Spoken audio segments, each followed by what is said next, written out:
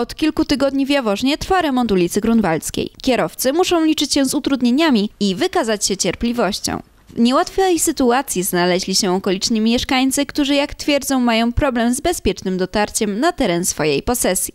Skontaktowała się z nami pani Mariola, prosząc o interwencję w sprawie remontowanej drogi. Według niej droga jest nieprzejezdna, a dziury tak olbrzymie, że samochód może się nawet na nich zawiesić.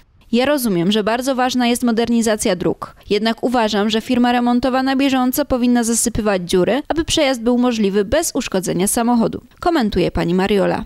Jak relacjonuje mieszkanka, wyjazd z ulicy Glinianej dla samochodu to ogromne wyzwanie, aby po drodze nie zgubić jakichś części ze swojego samochodu. Niestety kobieta zahaczyła zderzakiem o jedną z takich dziur. Z naszych ustaleń wynika, że wszystkie prace remontowe prowadzone przy ulicy Grunwaldzkiej mają zakończyć się jesienią bieżącego roku.